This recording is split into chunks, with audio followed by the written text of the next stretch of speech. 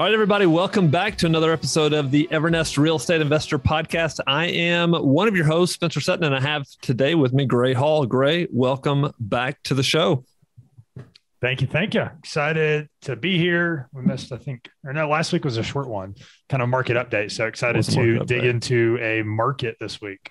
Yeah, I know. We've got a lot of new markets coming online uh, here at Evernest. We're uh, we've opened up um, Kansas City, which is what we're going to talk about today with our guest. Uh, we've got Orlando, Tampa. I mean, there's just a lot of a lot of really great things happening. So, yeah, all right, it's exciting. I mean, it's as we grow the footprint and we can continue to provide kind of content, boots in the ground content from what investors can expect from both the property management and the investor side, uh, just as well as like building out our footprint. If you're looking to build a portfolio, uh, we're we're trying to set up shop in kind of the hottest SFR markets. And so mm-hmm. we're excited to, to be able to help kind of provide some content and hopefully get investors into some of these houses.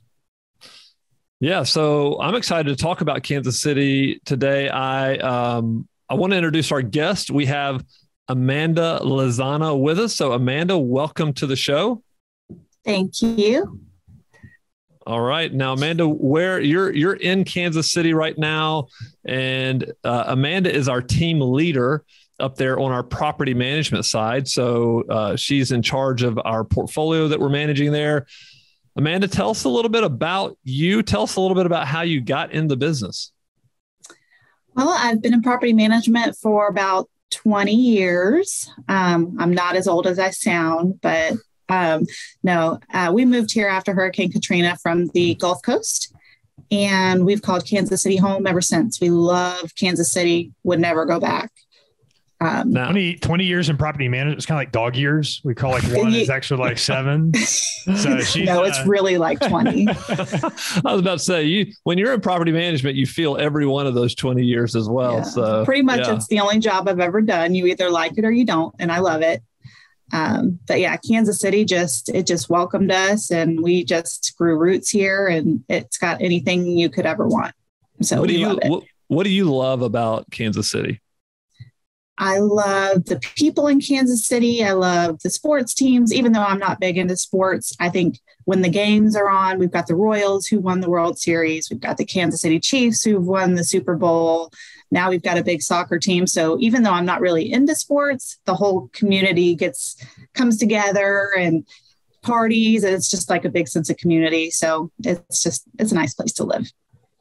Yeah, that's awesome. Um, well, good. Well, let, us get right into this. Gray, where do you want to where do you want to start? I mean, I'm I'm just thinking about like for investors who are listening to this. Yeah.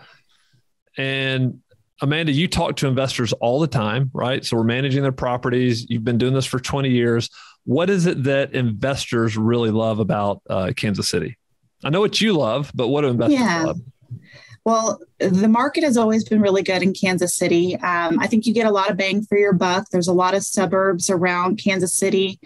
Um, there's certain areas in Kansas City you can also get a good value for your money on a rental home, and you can get pretty pretty good competitive rental rates.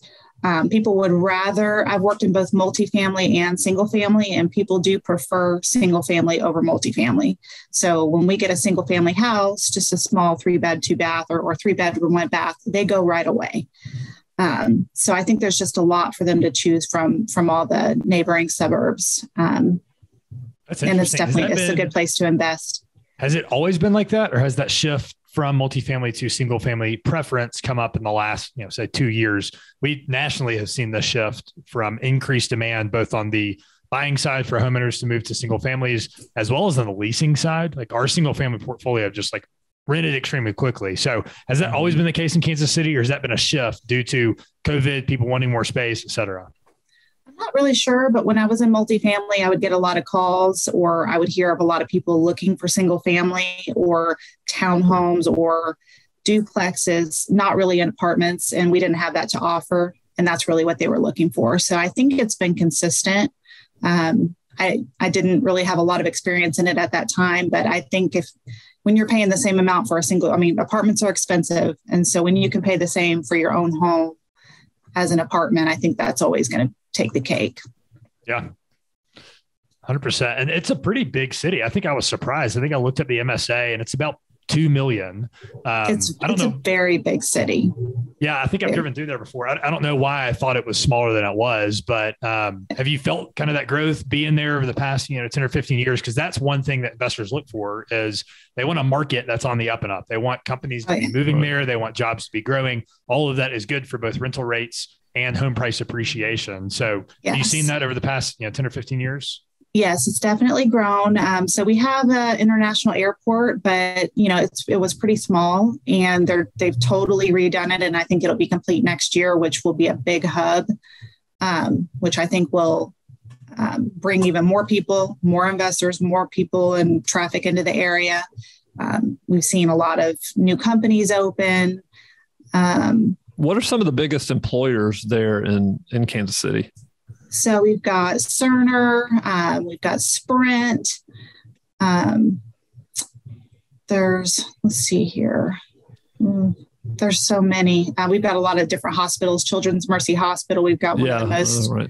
people drive to get here just for that. You know, so there's a lot of specialty things that we have that, you know, if you live here, I mean, it's just a draw to the city. Well, fun fact: uh, anybody here like Twinkies? the Interstate Bakeries is headquartered in Kansas City. So, uh, hey, my mom used to put Twinkies in my lunch all the time when I was growing up. Another one that's there's uh, that kind of surprises is Garmin. Um, so I think Garmin watches GPS. Oh, really? Garmin's based yeah. out of there. Okay, I knew yeah. Honeywell yes. was. Yeah, yeah, very cool. Yeah, um, and a, a, lot of population growth. I mean, some of the stuff that I was looking at, uh, population's grown, you know, twenty five percent over the past, I think, ten years, and so consistent steady growth is what investors want to look for because you don't want to buy a, a, house in a market that is declining you got less demand in the future. So yeah, it's definitely uh, not yeah. declining. It's increasing and growing um, and it has been really since i've lived here. Yeah all thanks I, to patrick mahomes right? Yes we like have Patrick Mahomes. growth you know when you when you he lives here.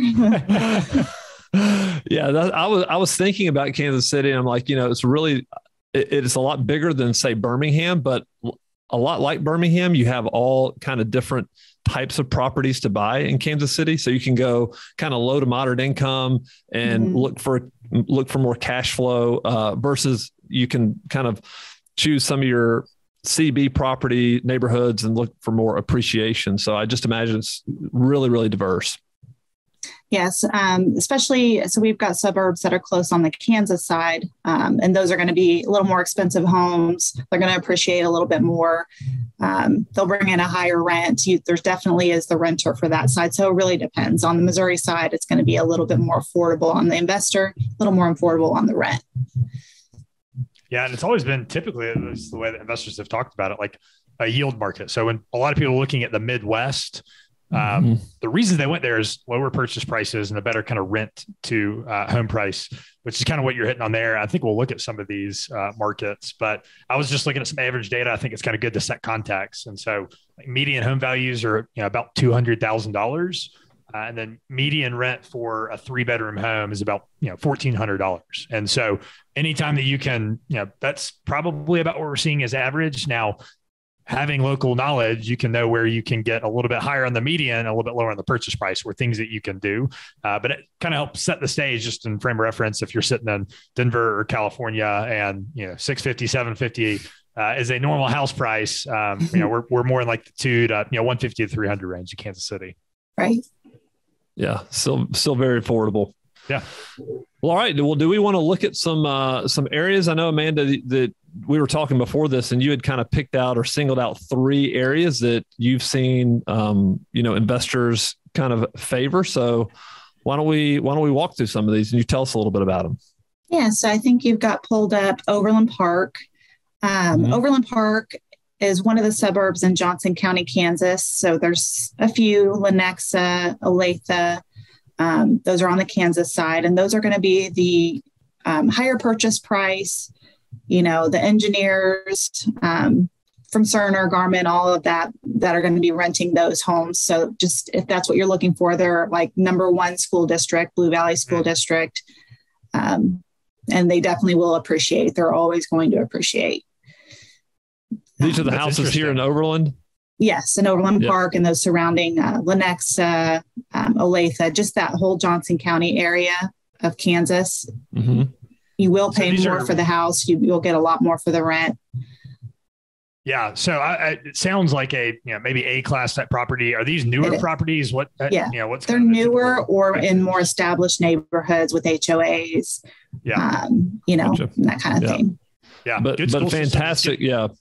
Yeah, that's like a huge selling point for a lot of investors. I, I know some that they're like, we want the best schools, and they're you know we know we're going to get a little bit lower yield because the home price is going to be more. But their thesis is over the long run, they think that's going to be a better performing asset with kind of an maybe easier renter, maybe less delinquency, et cetera, maybe a little bit more turnover. But that's kind of what it sounds like you'd find in here. Um, yeah. Any, oh, I'm sorry. Go ahead.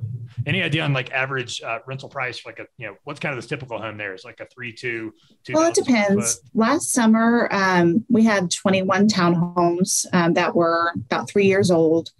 And I sold those to an investor occupied and I sold them for 285.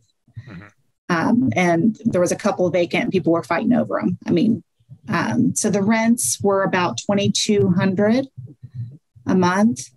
And I'm pretty sure most of the um, renters were engineers. Um, you know, I mean, just they have higher incomes, they can afford the higher rents. Um, so yeah. So they they they sold super fast, and t- tenants seem to stay longer are there any kind of pockets that you like? So this is a you know a little bit bigger area. Um, if you're an investor, you know, looking for the A class house kind of in the good school system, are there any sub pockets in here that we could have investors kind of look into? Um, so I would say um, there is an area that is pretty undeveloped, but is actually about to be very developed. So they could probably pick something up um, cheaper than they would be able to in three years, and that's yeah. going to be at like Highway 69 and 135th Street. So southern, southern Overland Park. Um, I'm trying to see. It's going to be. Yeah, it's called. It's area. called the Blue Hawk area, and that's where those townhomes were. So there's a huge sports complex going up across um, right there, and brand new retail was built there. So I think that area is about to explode. Um, and there's not a whole lot there right now. So if you get in now, mm-hmm. you might get a lot of appreciation. Yeah, path of growth is really important. I mean, it's like even just mm-hmm. driving around these markets, you can kind of see some of this. Um, like Chattanooga is always burned into my mind. Like this, there's this one pocket. Like I went five years ago and it was farmland. Three years ago, there's like all of a sudden a Target and all this kind of new subdivision stuff. So anytime you can get get the path of where things are growing from, um, yep. is yeah, it's a it's a gamble, but if you kind of like know that some of those developments are coming, that's a good way if you're in it for you know a 10 year hold to hopefully put yourself in a good chance to see some appreciation there. Yep, definitely. And, so and residents Southern like Overland Park. To, they like living next to retail, and if there's amenities like that that you think tenants will be attractive, um, whether it's walkable or kind of a close drive, those are always yeah. good things to be looking at. Good highway access, lots of restaurants, that kind of stuff. Cool. Um, and then the next area. So uh, talk about Gladstone. So Gladstone um, is what we call north of the river. I live north of the river, um, and it's just um, it's kind of the older, um, like in Gladstone, Missouri, you can get a little bit of an older home um, that's going to be more middle class. You know, you'll pay less than what you would pay like in Overland Park, Kansas. They'll rent very quickly because they're going to be priced for, you know, families or or whoever, but they're, they're, very reasonably priced. So you can usually scoop a house up in Gladstone, um, Missouri, or North Canton. I wouldn't say anything up north of the river is good in my opinion. Um, really, but yeah, is that kind of like a, a defining line in the city. It kind of is directional or um, north of the river is just very, um, I can't say there's, you know, no crime there or anything like that, but it's just a very quiet area. Um, if you scroll to the left, there's Parkville up north. Um, that's going to be more like an Overland Park area. So you're going to pay a lot for a house in Parkville. Mm-hmm. Uh, but if so you're for, wanting, if, I'm sorry.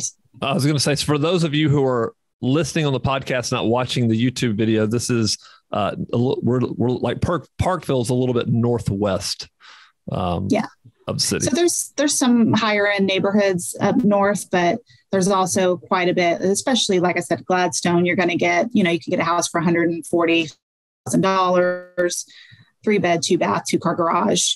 You know, just uh, nothing fancy, but And it'll needed. rent for about how much?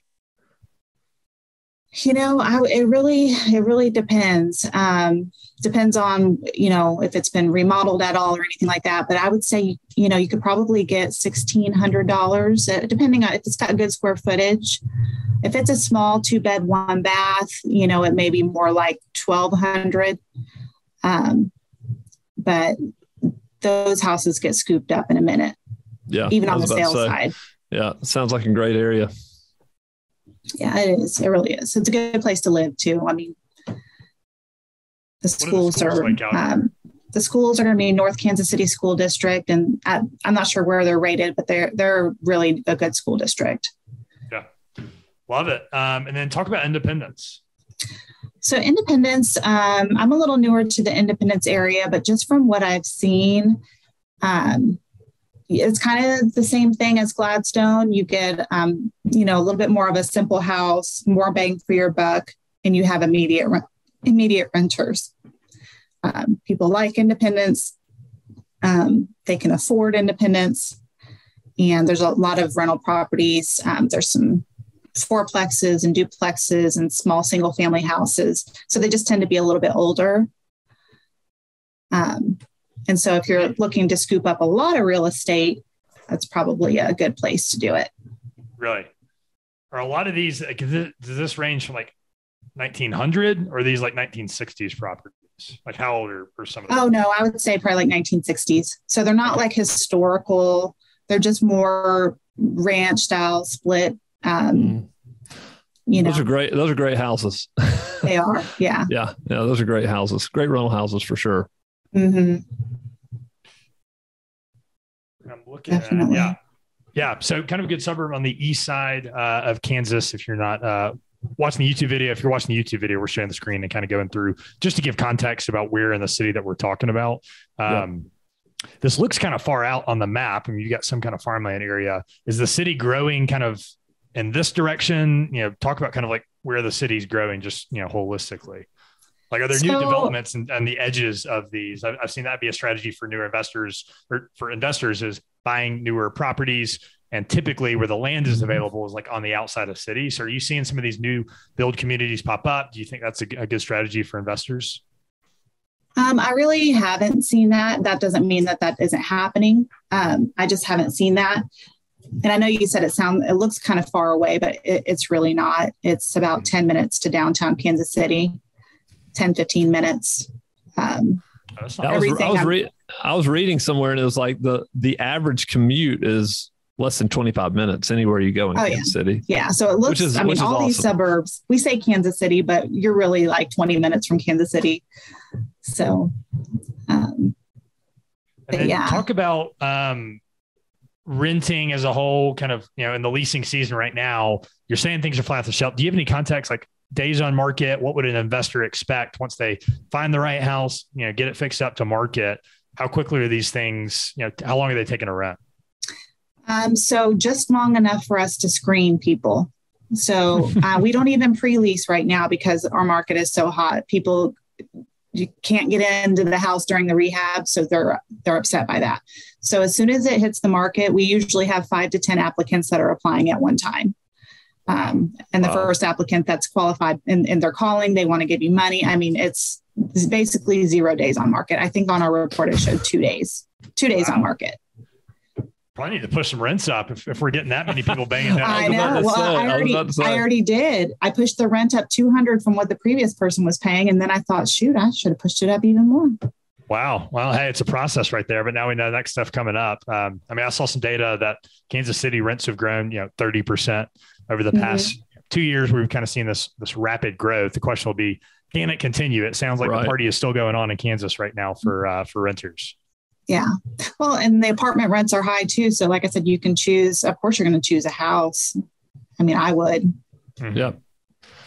Are there any differences between you know, Missouri side and Kansas side? Uh, I think it's kind of an interesting city that it's split, you know, right down the middle, uh, straddling two different states. So, any differences, pitfalls, maybe like laws and regulations in the two different states, or they're very kind of similar?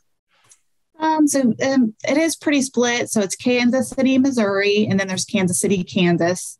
Mm-hmm. Um, Kansas City, Kansas. I don't have much. I haven't heard a whole lot of wonderful things about Kansas City, Kansas.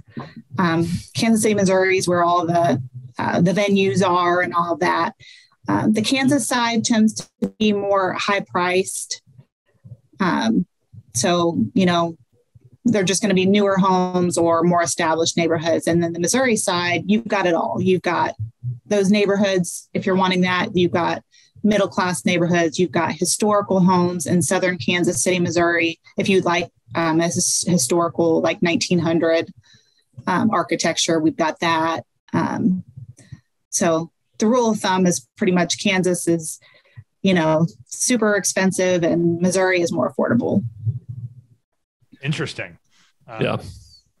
And I wonder if that's just newer stuff over here because uh, it looks like the uh, the kind of downtown where Kansas started and as it kind of expanded, started on the Missouri side, but that's that's interesting. So most investors are kind of focused on the Missouri side. Yeah, I've seen definitely more rentals on the on the Missouri side because you're going to scoop up more real estate um, for sure.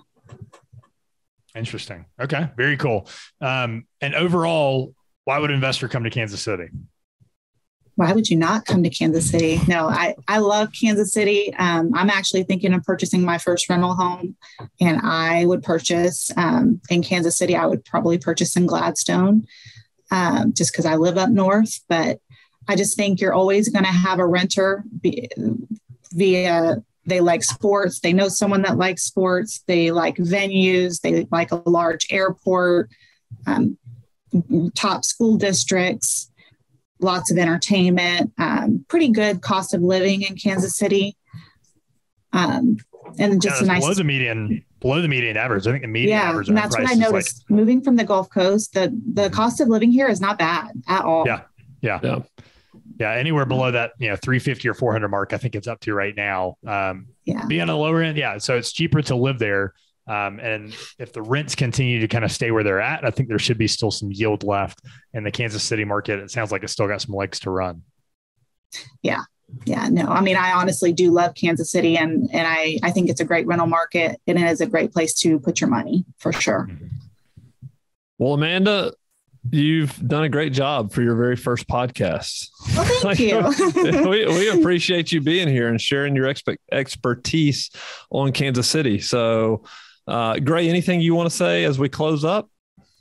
No, I'm excited for all these new markets. Uh, you know, we get to learn about these from you know people yeah. who live there on the ground, trying to bring that content to you. So this is this has been fun to uh, to get to know the Twinkies, Patrick Mahomes, and uh, to look on the Missouri side of Kansas. So I appreciate you sharing your insight with us. Yeah, awesome.